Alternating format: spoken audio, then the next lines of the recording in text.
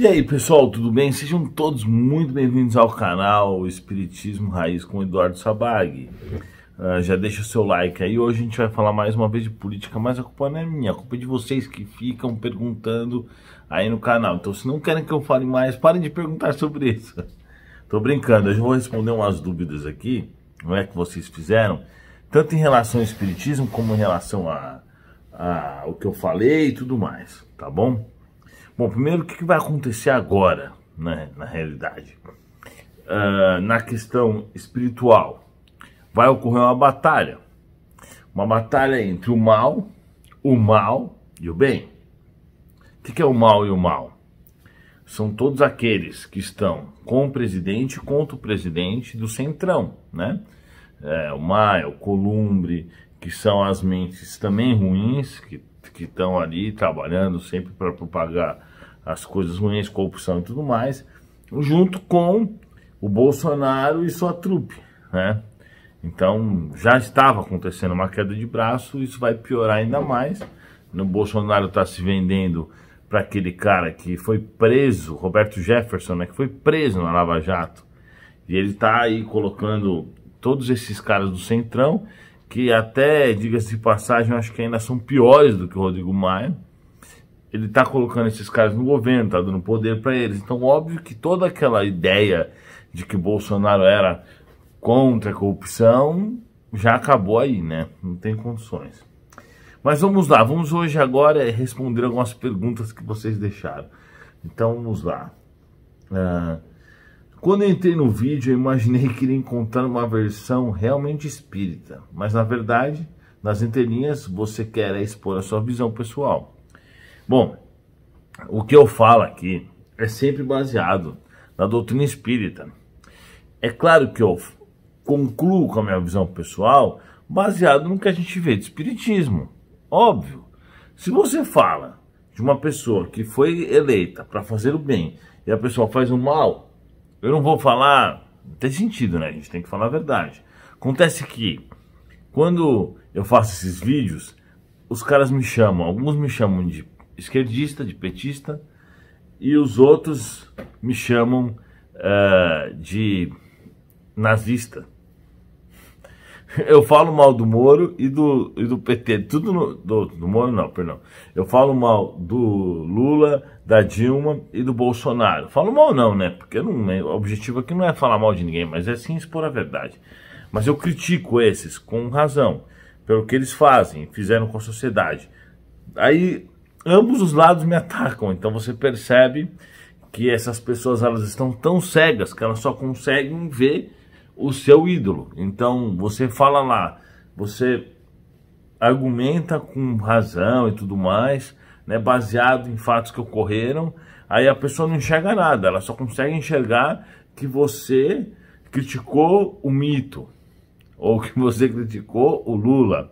Então, muitos comentários que vem no vídeo são muito engraçados. O cara fala, é, a Venezuela, não sei o que. Aí o outro fala, você é esquerdista. Aí outros falam, não é isso. O Bolsonaro estava só se protegendo por causa do Adélio Bispo. Então é engraçado que eles criam histórias na cabeça deles que não tem sentido nenhum. Nem o Bolsonaro, acho que o Bolsonaro pensa, não, essa história é exagerada, eu nem vou falar isso. Aí as pessoas vão lá e criam, né? infelizmente. Por que, que elas fazem isso? Porque eu acho que passa um momento que não é mais inocência. No começo pode até ser inocência. Quem daqui não acreditou no Lula ou quem daqui não acreditou no Bolsonaro, provavelmente todos em algum momento acreditaram. Então isso é, é uma relativa inocência. Mas depois de um período que fica muito óbvio, aí é cumplicidade, né? Então é isso aí.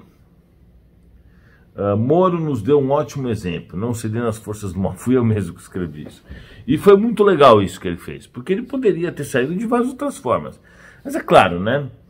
Mas Eduardo, você endeusa o, o Moro, mas ele fez uma jogada. Claro que fez. O Moro, tá cara que ele é um cara muito bom, um cara que não deixa o orgulho nascer, é, dominá-lo, né? Um cara simples um cara humilde, isso é óbvio. Tanto que ele poderia muito bem, desde o início, ser concorrente de qualquer um e provavelmente ele teria ganho como presidente. desde antes do Bolsonaro se eleger, mas não foi isso que ele fez, né? Ele ficou na dele. O Moro, pelas pesquisas, é o brasileiro hoje, antes era, agora provavelmente é também, mais aprovado pela população. É o cara que ganharia de presidente facilmente. Ele não fez isso. Entendeu? Ele aceitou o convite do Bolsonaro. Ele aceitou toda essa situação. E só que ele não é trouxa. Ele não vai ser conivente com, com essa apelação toda. Entendeu? Então, o que, que ele fez? Da mesma forma que ele impediu que o Lula fosse ministro da Dilma, não sei se vocês lembram disso. O Lula ia ser ministro da Dilma e isso ia deixar ele, uh, como é que fala, blindado para não receber o processo e não poder ser preso. A Dilma até falou, ó, tô mandando o Bessias aí, o Bessias está levando a cartinha para você. Caso a polícia fosse prender ele, falava, opa, ó, foram privilegiado o tempo que eu sou ministro. Era isso que ele ia fazer. O que, que o Moro fez? Espertamente, contra as leis até, na verdade. Isso não foi não foi a favor da lei, porém foi a favor da moralidade. Pegou esse áudio e lançou na, lançou na mídia. E aí um dos ministros da STF uh, proibiu, né, dizer, assim, é, desativou, sei lá, não sei o termo certo. Eu só esqueço as coisas quando estou fazendo um vídeo, engraçado, né? Uh, anulou a, essa, essa questão aí do Lula. Então, óbvio que o, o, o Moro ele é muito inteligente. E quando eu fiz o um vídeo para vocês há dois dias atrás, falando um monte de coisa, falando do Moro, falando um monte de coisa do Bolsonaro, eu já sabia que ia acontecer isso. Não sabia exatamente o que ia acontecer, porque os espíritos me falaram, mas eles falaram, vai acontecer algumas coisas e agora você tem autorização para fazer o vídeo falando tal, tal, tal coisa. E eu falei o vídeo mesmo, né? E algumas, alguns de vocês perceberam e comentaram isso, que eu sabia que ia acontecer, porque eles me falaram isso, claro. E as coisas, e vão acontecer mais coisas ainda, porque vocês acham que o Moro é burro? O Moro é muito inteligente, essa é a verdade. E ele é um grande jogador. Então ele sabe o que ele vai fazer. Por exemplo, o Moro não falou uh, algumas coisas, aí o Bolsonaro já rebateu e o Moro já comprovou, mandou para o Jornal Nacional que a Carla Zambelli lá, que é aquela, aquela ruiva bolsominion, Uh, falou que ia dar um jeito de colocar ele no STF, ele falou não estou à venda. O Moro é muito inteligente, é claro, ele é esperto pra caramba, além de ser honesto, né? Aí tem gente que fica criticando aí, que eu falei do Moro. Aqui a gente trabalha, pelo menos eu, com a verdade. Eu não tenho partido político, nem bandido de estimação. Se amanhã aparecer que o Moro fez alguma coisa errada, ah, qual que é a nossa função? Tirar o apoio do Moro, né? Apesar de a gente não ser ninguém, né? Mas vamos dizer assim, as pessoas são eleitas pelo apoio da população em forma geral, né? Se o Bolsonaro teve lá 58 milhões de votos, se as pessoas não tivessem apoiado, ele não seria. Então a, o apoio é individual. Qual é a função de nós? Nossa função, quando a gente vê que um político está fazendo coisa errada, tirar o apoio. Não interessa se o cara é, é qualquer um, não interessa quem ele seja, né? Então vamos lá. Que situação moral terrível essa do nosso país. Bolsonaro foi visto como menos pior do que o Haddad perante a espiritualidade. Nossa Senhora. Na verdade é o seguinte, não é que os espíritos falaram que o Haddad ia transformar o PT na Venezuela, não sei o que. Claro que não. Isso daí é opinião minha, tá? Mas os espíritos já me falaram na época do Lula que o Lula realmente era um plano lá do mal, o plano inferiores. Dos inferiores. vou explicar uma coisa para vocês, já falei, sempre, sempre falo sobre isso, né? O que acontece com os inferiores? Os inferiores são grupos de espíritos do mal que querem detonar a Terra. Então existem, não estou exagerando, tá? Isso está em vários livros. Brota Janela, Nosso Lar. Existem organizações grandíssimas, né?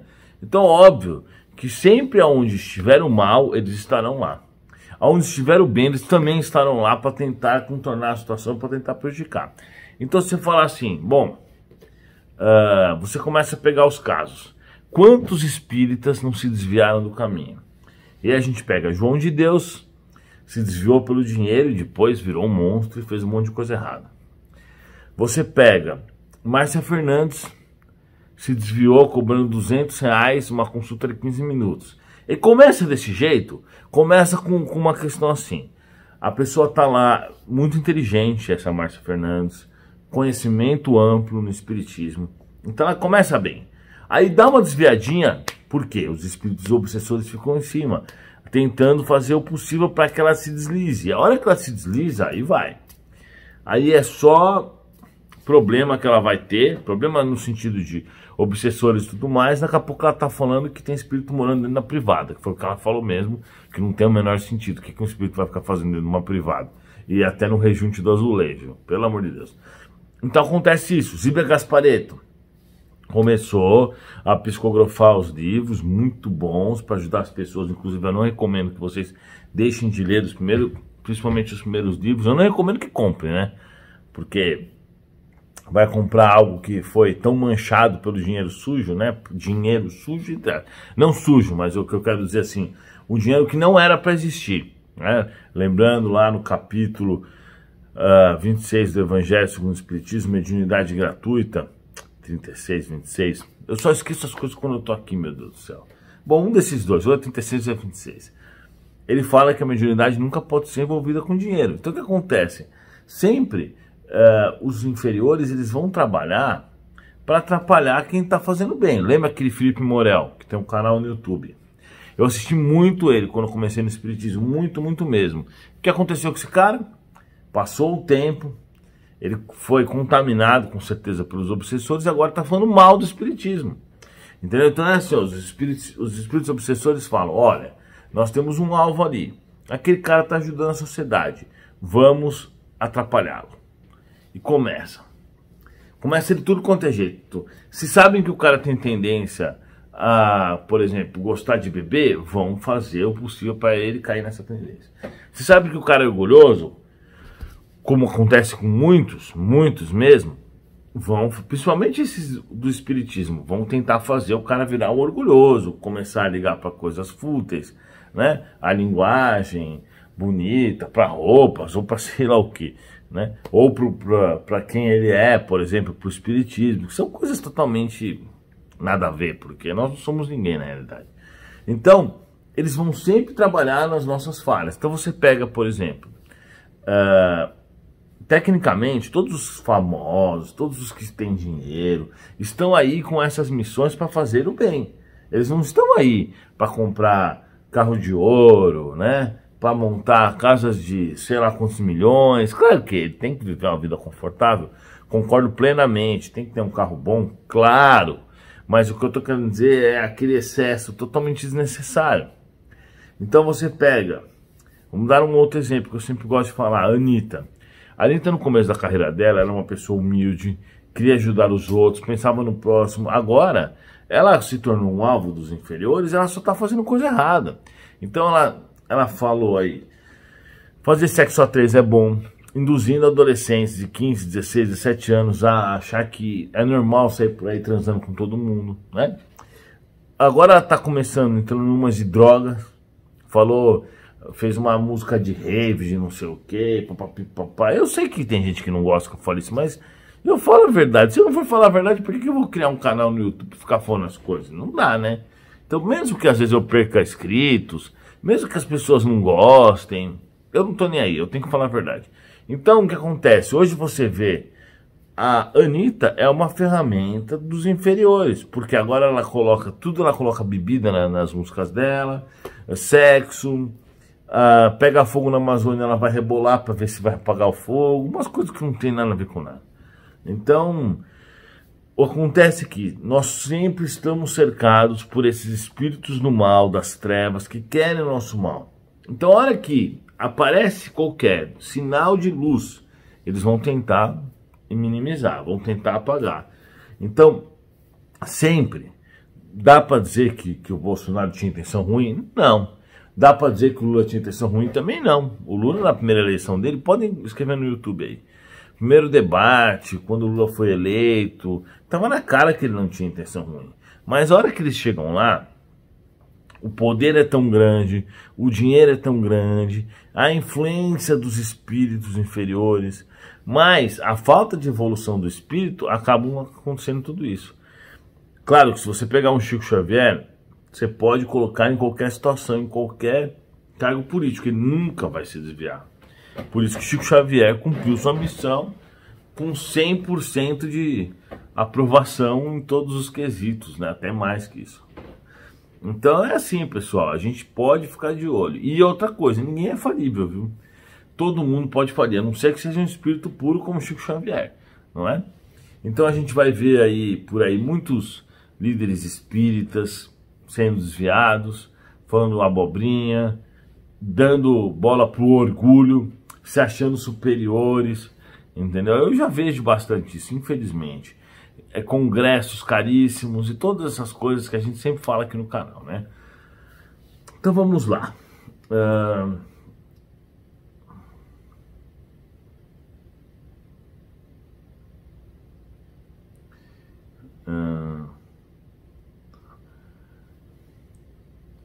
Eduardo, recentemente você fez um vídeo falando sobre política. Com isso, gostaria de saber a sua opinião sobre o ex-candidato à presidência Enéas Carneiro.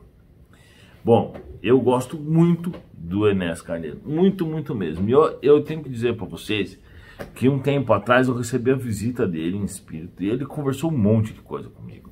Inclusive ele falou de um projeto que ele tinha, que ele disse que ele gostaria que eu fizesse esse projeto. Então ele me descreveu exatamente que era um projeto com crianças carentes e tal, que eu achei super legal e disse que provavelmente eu vou vou, vou realizá-lo, né? Mais para frente quando eu tiver uma estrutura financeira melhor, porque realmente é um, é um projeto que ou precisa de muita ajuda do governo ou precisa de muito dinheiro. Então não é algo fácil, porém é algo fantástico. E aí nessa época que eu acabei conversando bastante com ele, eu comecei a assistir muitos vídeos dele.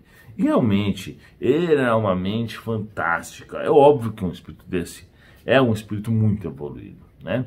Um espírito muito inteligente, um espírito que queria o bem, porque vocês percebiam, uh, não vamos aprofundar tanto, mas vamos dizer assim, ele era ultra respeitado na área dele, pelos alunos dele, um cardiologista, ele, ele acho que se eu não me engano, ele tinha, ele é um dos precursores do eletrocardiograma, o cara é demais, e ainda tudo que ele estudava, o nível de inteligência dele, né? o nível de compreensão das coisas. Vocês escrevem lá, Enéas dizendo quem é Deus para ele. Fantástico, não tem o que falar. Porém, é claro que a época lá, as pessoas achavam ele meio maluco, né? Uh, porque também ele usava barbona, coisa e tal. Mas é óbvio que ele era, assim, um cara fantástico, um cara muito do bem, e que se tivesse sido eleito faria grandes diferenças para o Brasil. Apesar dele achar que as empresas é, estatais deveriam ficar no governo, mas isso é porque ele provavelmente acreditava nas pessoas, né? Eu não acho que isso funcionaria muito, não. Porque tudo que o governo põe a mão estraga, né? O governo não é bom em nada, na verdade. Só em, em desviar o dinheiro da população. Uh, eu não estou falando desse governo, estou falando qualquer governo. Essa, essa é uma opinião do Eduardo, tá? O governo tem que ser o mínimo do mínimo. Tudo tem que ser feito por iniciativa privada, porque não tem desvio, porque se começa a roubar, o cara manda embora e por aí vai.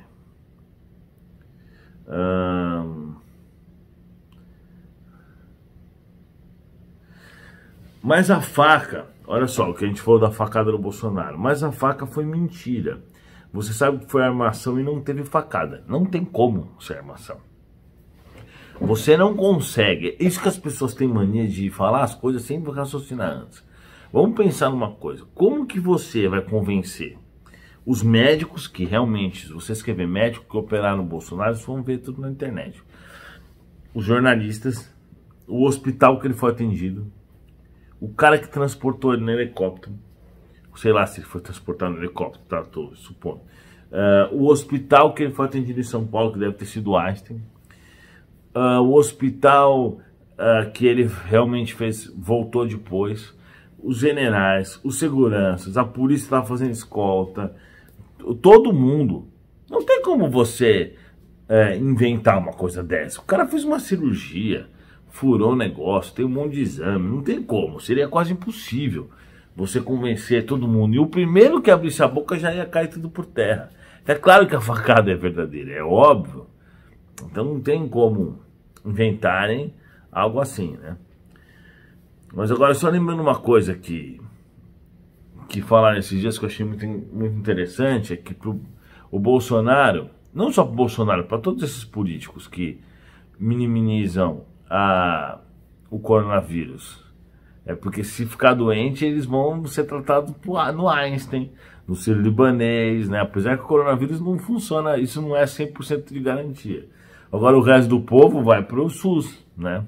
Não que o SUS seja ruim também, mas depende dos lugares é complicado.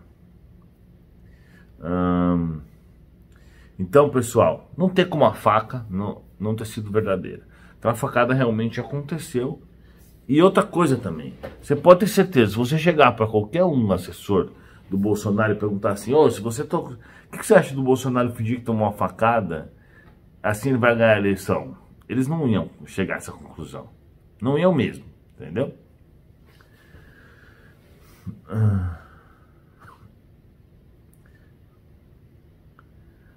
Por isso que leva tanto tempo para nos livrarmos. Ah, a pessoa está perguntando aqui, por que, que leva tanto tempo da gente se livrar das pessoas mau caráter no governo?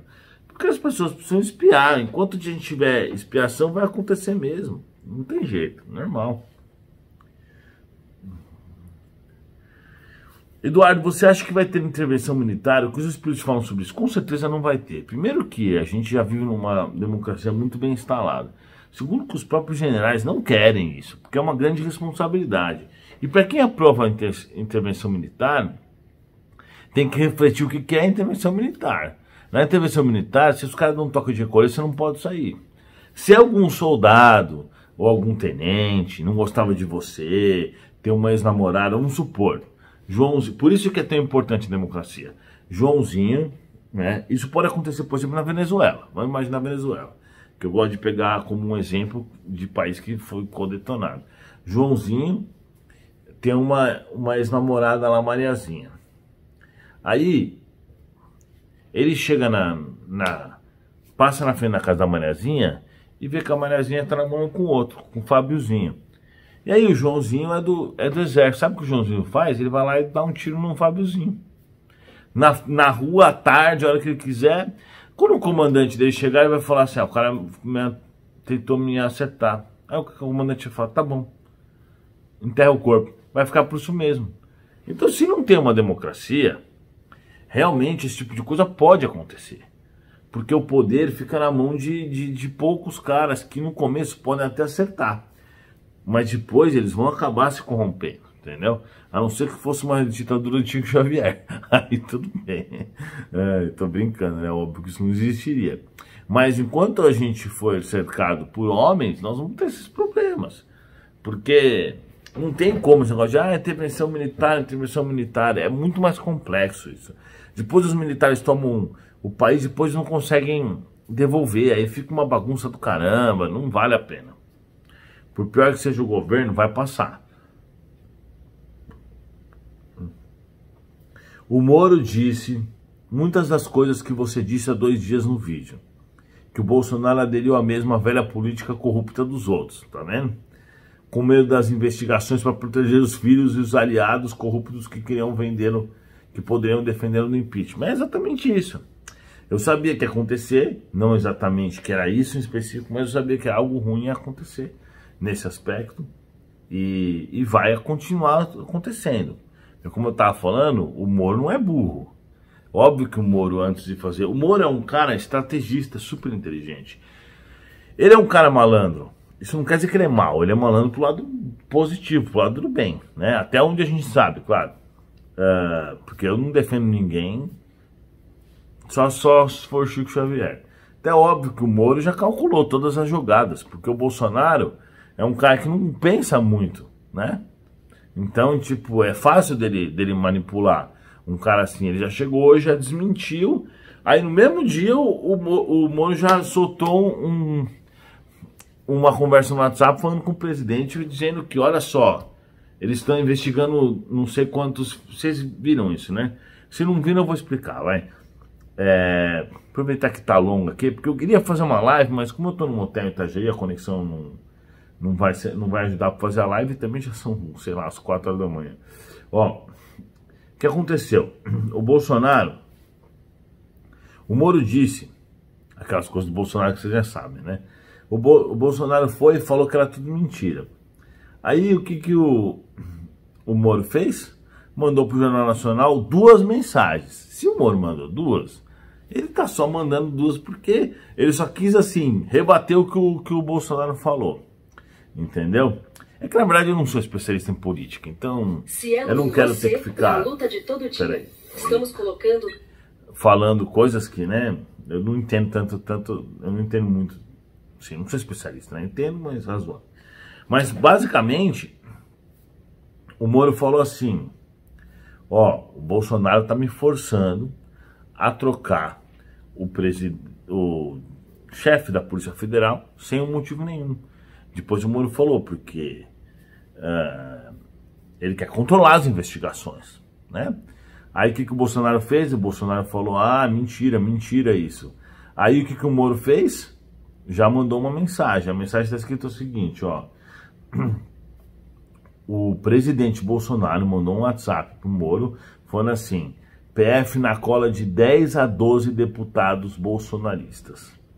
E mandou o link de uma reportagem do O Antagonista, que era essa reportagem, que a Polícia Federal está investigando uh, de 10 a 12 é,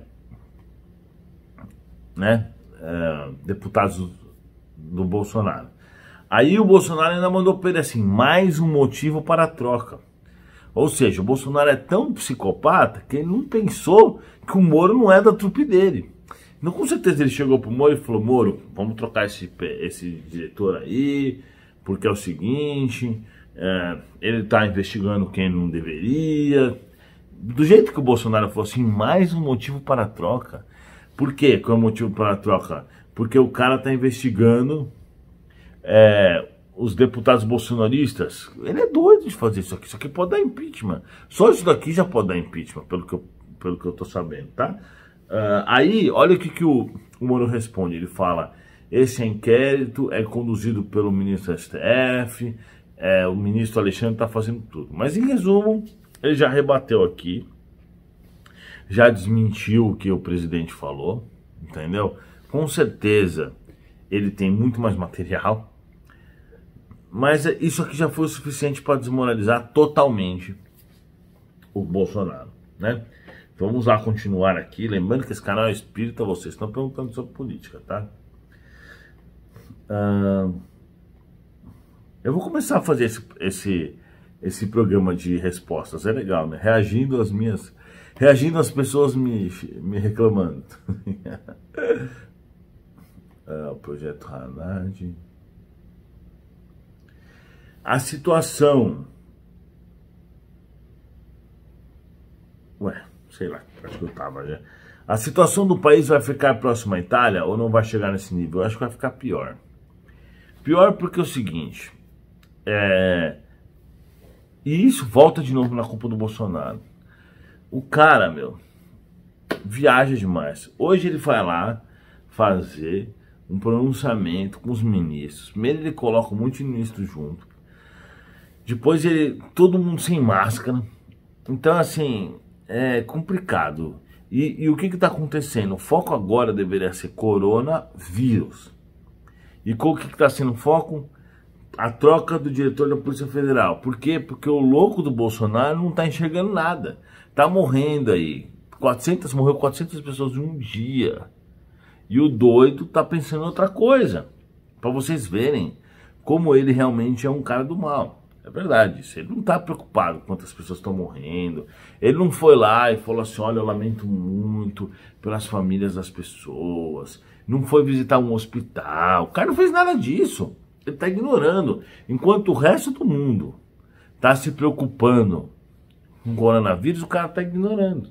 Então o que, que vai acontecer? Vai ficar cada vez pior. Só que o resultado das ações agora, nós vamos ver mais para frente. Né? Lembrando o seguinte, eu estou aqui em Itajaí mesmo, viajando, porque eu precisava vir aqui. Eu tenho uma empresa aqui, então eu não estou passeando, né? Eu estou indo na minha empresa. É, já coloquei todos os dispositivos de segurança nas pessoas. Eu uso máscara, tudo, mas os espíritos falaram que eu não vou pegar, então eu realmente não estou preocupado, né? Mas eu uso para que as pessoas não se preocupem. E eu vou nos lugares e eu falo para as pessoas, olha, isso aqui que você está fazendo, meu, melhor você fazer assim, melhor você fazer assado. Eu fico falando mesmo, né? Uh, então, realmente o coronavírus é um problema muito grave, não podemos minimizá-lo, ele vai detonar tudo, apesar de eu não ser a favor do fechamento total do, do, do comércio, né? Eu sou a favor do quê? Uma, abertura com muitos cuidados. O que, que eu acho que deveria ter sido feito? Vou aproveitar que esse vídeo aqui é longo e vou continuar falando. Só vou ligar o ar, senão tá ficando calor demais. Peraí. O que, que eu acho que deveria ter sido feito, pessoal? Deveria ter. O governo deveria ter feito um vídeo falando, ó, vamos explicar, população, você quer receber os 600 reais? Você vai passar uma provinha de cinco perguntas. Vai assistir esse vídeo até aprender. Tem que manter distância, tem que usar máscara. A máscara, eu falei lá no primeiro vídeo lá. Quando começou em janeiro, a China, os espíritos mandaram eu gravar um vídeo falando das coisas, inclusive das máscaras. A gente nem tinha nem casa nos Estados Unidos, eu acho. Aí eu falei, um monte de gente veio me criticar que a OMS disse que não era para usar máscara. Agora mudou tudo. Todo mundo tem que usar máscara. Então é assim, distância, a máscara, o álcool em gel, lavar a mão, não sei o que, porque eu não vejo isso. Agora mesmo no hotel, eu, quando eu subi, à noite, tinham oito caras lá embaixo, conversando, um do lado do outro. Oito caras que com certeza não são uma família, né? Então eles vão amanhã, sei lá, quando eles forem embora para casa deles, cada um vai para um lugar, cada um vai levar para uma família. Então, se eles estão ali se contaminando, sem máscara, um perto encostando no outro, né? Eu falei pro meu hotel, falei, meu, vocês não podem deixar. Eu falei, ah, não vi. Quando eu cheguei já estava aí, senão eu não teria deixado. Então, infelizmente, as pessoas não têm consciência, né? E a gente vê isso o dia inteiro na rua. Você vê toda hora os caras um perto do outro, as pessoas sem máscara. Então, isso vai custar muito caro, muito caro. Mas eu sou a favor disso, de treinar muito bem a população e deixar com que as pessoas façam suas coisas, não tem como impedir que a gente faça o trabalho, que a gente trabalhe, entendeu? Eu vim de, de Londrina para cá de carro, os espíritos eram me falando, meu, tá muito difícil, a vida das pessoas tá muito complicada, os vendedores ambulantes e não sei o que. Eu vou falar para vocês porque vocês sabem, né? Quando eu digo aqui, eu não quero em nenhum momento exaltar nada de dinheiro, nem nada, até porque eu acho que o dinheiro é uma coisa totalmente relativa, né? Na verdade, o dinheiro não é nada. Ele é só um monte de papel que a sociedade diz que existe alguma coisa, mas isso na verdade nem existe, né? E no mundo espiritual isso não significa de nada. Quem controla meu dinheiro mesmo são os espíritos. Eles realmente controlam. Eles falam que eu posso comprar. Se eu quero comprar televisão, eu tenho que perguntar. E aí eles falam, ah, não compra essa, compra essa que é melhor. Eles também me ajudam bastante nessas coisas. Mas eles controlam. Então, quando eu vejo alguém que, que eu... Eles falam para mim, pô, ajuda essa pessoa com esse valor, com aquele valor. Eu nunca fiz tanta, dei tanta ajuda dessa vez, igual essa vez. Porque, meu, eles falaram, meu, esses ambulantes, eles não estão vendendo nada. São pessoas que estão se esforçando. A pessoa tá lá, trabalhando debaixo do sol, entendeu? é muito válido isso, né? Muito, muito bom isso para ela. Mas é claro, ela também tem que tomar seus cuidados. Então, outro dia eu dei a máscara pro cara no farol. Eu falei, velho, você não pode ficar sem máscara. As pessoas não vão querer que você chegue perto do carro delas. Então a gente tem que, tem que compreender, né? Que nós temos um problema gigantesco, gigantesco de saúde, um problema gigantesco de econômico, uma recessão que está entrando, que vai ser muito ruim, que nem começou ainda. Na verdade, nem começou. A verdade é essa coronavírus está no começo, a recessão está no começo. Só que espero que o Bolsonaro esteja no fim. Eu estou brincando, né? Mas vamos lá. O meu coronavírus, brincadeira. Então, uh, a corrupção no Brasil é epidêmica. Bom, eu vou falar um pouco para vocês sobre o que eu conheço na América Latina, tá? Porque às vezes a gente fica achando que a corrupção no Brasil é a pior do mundo, não é. Tem muitos países que a corrupção é bem pior do que o Brasil. Por exemplo, a África, onde tem pobreza, tem corrupção. Por quê? Ali vivem, por exemplo, Coreia do Norte, vivem pessoas que têm muito poder, essas pessoas vão lá, influenciam demais as pessoas que têm menos poder. Então eles pegam dinheiro. Então, por exemplo, a África. Os outros governos do mundo inteiro mandam dinheiro para a África. Eles vão fazer obra, desviam todo o dinheiro. Eles desviam mesmo o dinheiro. Então acontece que não chega nada para quem realmente precisa. Isso é corrupção das piores, é bem pior do que a nossa. Então, na verdade, o Brasil não é nada demais perto desses outros lugares. E aí, se você falar, outro dia eu estava no Peru, e aí tava tendo um protesto. Eu perguntei pro cara, por que tá tendo um protesto? O cara me explicou. Era um absurdo. Era tipo assim, resumidamente. O presidente roubou, e aí ele foi preso, ou ia ser preso. Aí a oposição fez um acordo com o presidente, aí eles fizeram um acordo, um livrou os outros, porque todo mundo rouba. Então é muito complicado. O México, por exemplo, o policial, meu, para você e fala assim, ó, você tava não sei o quê ou se me dá 20 ou eu te dou uma multa. Aí perguntei pro cara, mas e aqueles lá, né, que são os, os vamos dizer assim, os PRF, assim, os, os federais, né? Ele falou, ah, é, aí a propina é mais cara. Então é assim, é muito complicada a questão. Corrupção no Brasil é menor do que nos outros países da América Latina, tirando o Chile que está melhor. Mas outros países é pior, né? De forma geral, claro, dependendo de cada lugar e tudo mais. Como no próprio país, nós temos uma corrupção muito grande nas áreas em algumas áreas, por exemplo, no Nordeste, por que, que o Nordeste passa tanto perrengue em alguns pontos? Porque a corrupção é maior, aqueles velhos coronéis, coronéis não coronéis da polícia, né? coronel é aquele comandante né, político. Vocês podem perceber que as mesmas famílias estão lá no cenário político desviando e roubando muito dinheiro. Isso vai acabar, óbvio, mas ainda existe, né? Ah, olha o comentário aqui que engraçado. Ó, você já sabia, Eduardo, já falei sobre isso, né? Olha esse aqui. Do jeito que você trata no vídeo, parece que o Bolsonaro é uma das piores almas na Terra. E o Moro, o novo Chico Xavier. Primeiro, não dá para comparar o Moro com o Chico Xavier, mas nem, nem, nem, de, nem de relance, né? Esquece isso, pelo amor de Deus.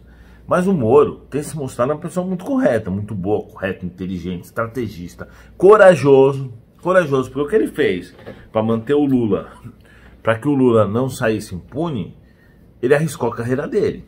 Na verdade, o que ele fez, ele poderia ter respondido um processo e poderia até ter perdido a carreira dele. Então ele foi muito corajoso no que ele fez. E a gente sabe que às vezes a lei não está certa, não é? Porque o Lula ia utilizar uma brecha da lei totalmente injusta para se livrar. E o que ele fez foi utilizar uma outra brecha da lei, né? Então, tudo bem, o Moro é um cara top, mas se amanhã descobrir que o cara recebeu dinheiro, ou que o cara fez acordo com qualquer político, aí ele vai se tornar igual o Bolsonaro, igual o Lula, igual todos. Porque eu um dia votei no Lula, no começo, sei lá quando, 94, não sei. Eu também votei no Bolsonaro. É normal, fazer o quê? Mas as, os políticos que mudam, essa é a questão. E é isso que a gente tem que ter umbridade de perceber quando ocorre essa mudança e falar, meu, eu votei, eu apoiei, mas agora não apoio mais. Porque não é a mesma pessoa, não é o mesmo cara, entendeu? Então vamos lá. Uh...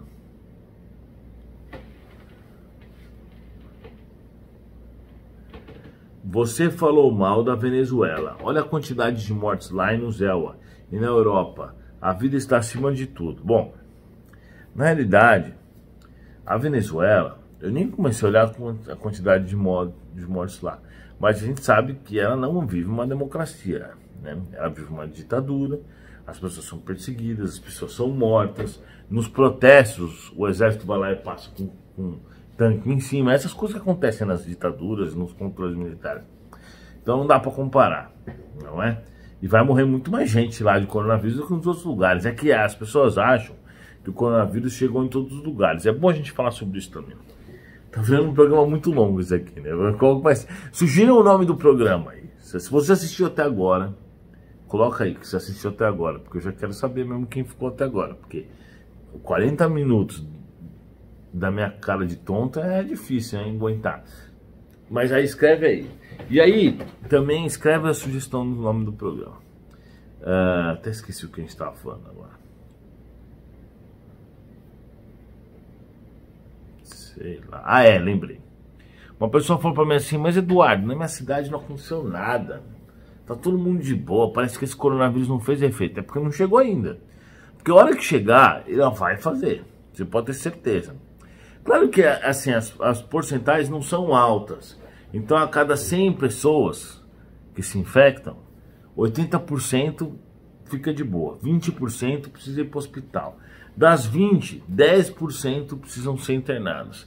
Das, é, é, aproximadamente, porque ninguém sabe realmente os números, né? Mas são mais ou menos esses. Das 10, 5 precisam ser entubadas. E outras 5 recebem oxigênio e o tratamento de medicamentos e tal. Dessas 5, duas e meio morrem. Não que a pessoa vai morrer só metade dela, né? Óbvio. é a média. Mais ou menos isso. Morrem de duas a três pessoas. Então, é pouco, é pouco. Se você pegar a população inteira, é muita gente, né? Então, é, é isso, isso aí. Vamos lá.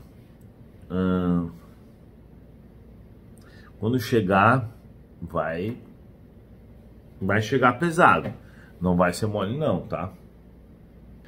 Amigo, quando isso vai passar? Os espíritos indicam o que devemos fazer para passar isso da melhor forma. Deve estar falando sobre o coronavírus ou sobre o governo também, tanto faz. O fato é que o certo é a gente aguardar, mas aguardar paciente, lembrando que existe um Deus, e ele comanda tudo. Existe um governador chamado Jesus que comanda também tudo e todos e todas as coisas, e que ele está vendo o que está acontecendo. Vamos aguardar da forma mais paciente possível, fazendo certo, fazendo bem para o próximo, fazendo a caridade quando cabe a caridade, né? nos dedicando a melhorar as nossas vidas e fazer a reforma íntima. Ah, olha essa pergunta aqui, ó. O assunto foi muito bom, mas acabo ficando chateada, pois fazemos perguntas em outro vídeo, sempre tenho respostas diferentes. Eu falei, eita, como assim? Numa live no mês passado, perguntei se iríamos passar fome ou se iria faltar comida. Eu respondi que não. Quer dizer, o Edu respondeu que não.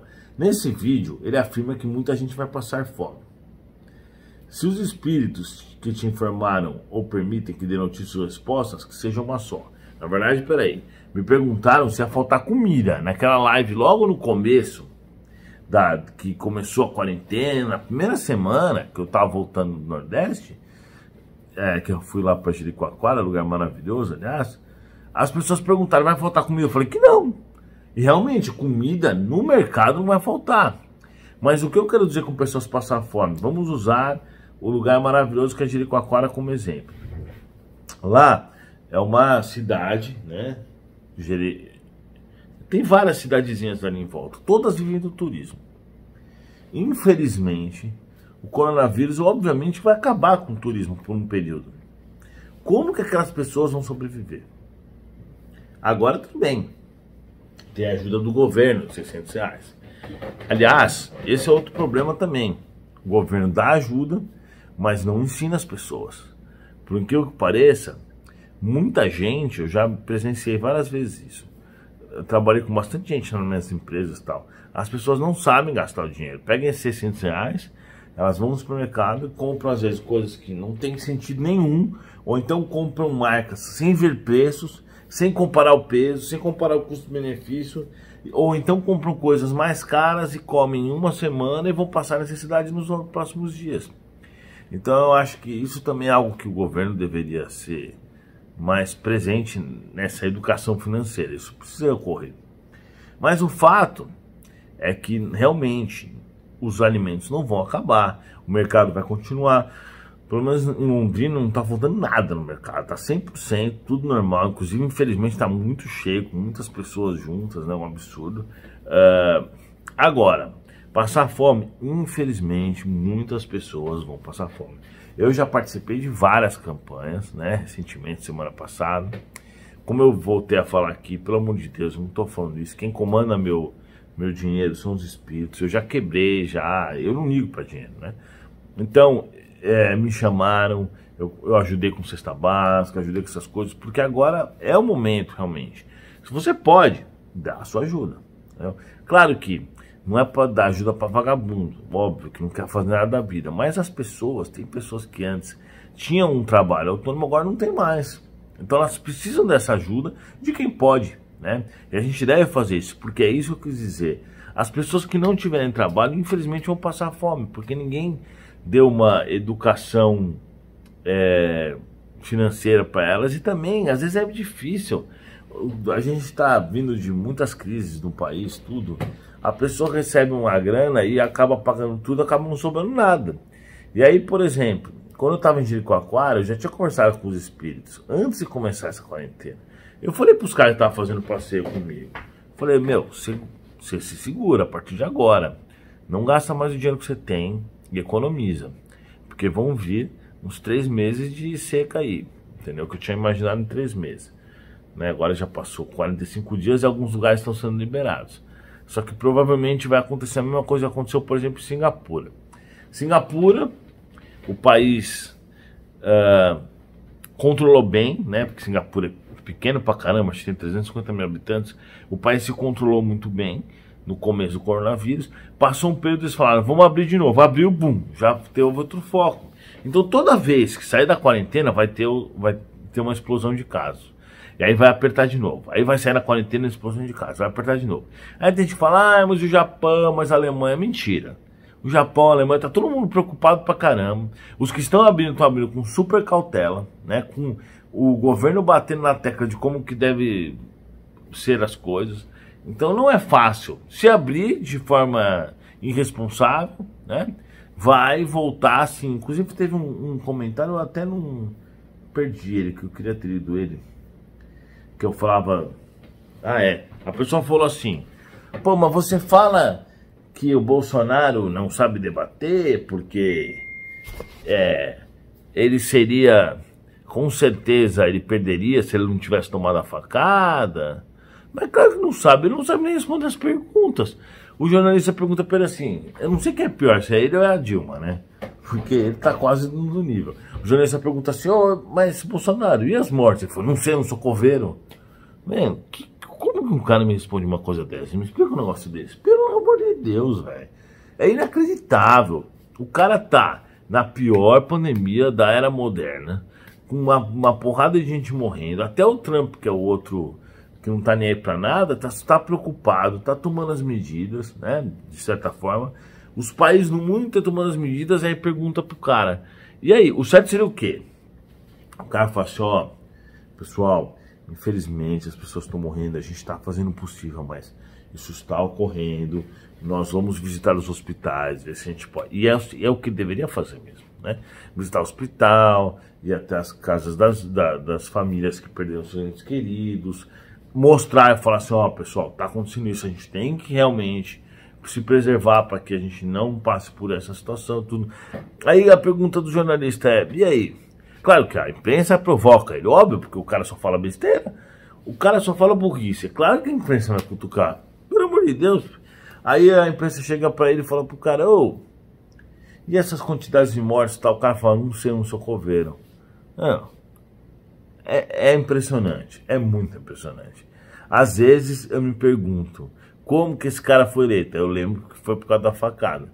Então, assim, é claro que antes a gente via que ele já não tinha muita noção das coisas que ele falava, mas pelo menos ele tinha uma característica que era a honestidade. A característica que ele montou um ministério bom, né? Ele montou um ministério de pessoas boas. Com certeza, o Moro top, Paulo Guedes top. Os caras que ele montou eram bons. Depois começou ficar palhaçada, a bagunça, apareceu todos os podres dos filhos, colocou o ministro da Saúde que escreve Errado. O ministro da Saúde escreve errado. Coisa mais ridícula do mundo. O ministro da Saúde está falando mal da China. O que, que esse cara tem a ver? O cara tem que fazer um cursinho básico, pelo menos escrever, aprender a escrever. Não sei o que, que fala a palavra. Vocês viram isso? Deixa eu ver a palavra que o cara escreveu errado. Impressionante. Ô, oh, ministro da Saúde, não, perdão, ministro da Educação, me desculpe, me desculpe. Me desculpe. O da Saúde, o Mandetta também era, mandava bem. Claro que o Mandetta é político, tá fazendo o jogo da política, mas o cara é bom. Ele tá vendo certo. Isso era o que se esperava dele, né? Então, uh, ele escreveu, ele já escreveu dois, dois erros, dois erros de, é muito engraçado isso, né? Como que o cara consegue? Ele escreveu impressionante com o cara escreveu impressionante com C. E acho que paralisação com Z. Mas tudo bem, agora, pelo impressionante com você. O cara tá de brincadeira, né, meu? Esse é o ministro da educação. Então, como é que a gente vai, vai ter uma perspectiva num país desse? O presidente é perguntado na pior pandemia das mortes, o cara fala que não é coveiro. O ministro da educação escreve tudo errado. O ministro da saúde, que era bom, foi mandado embora. O ministro da justiça, que era o super-ministro top, caiu fora, entregou o presidente o ministro da Economia já está de saco cheio, com certeza, porque o Bolsonaro é tão burro que ele começou já a fazer reunião e decidir coisas sem chamar o Paulo Guedes. Outro pilar de sustentação do governo é o Paulo Guedes, que é um cara top. Ele vai perder o Paulo Guedes também. E aí ele vai fazer o quê? Vai colocar exatamente tudo que ele falou que não ia fazer, um monte de indicação política. Então, é isso aí, pessoal. Mas fiquem tranquilos, apesar de tudo isso ser uma coisa ruim, mais cedo ou mais tarde, isso vai mudar.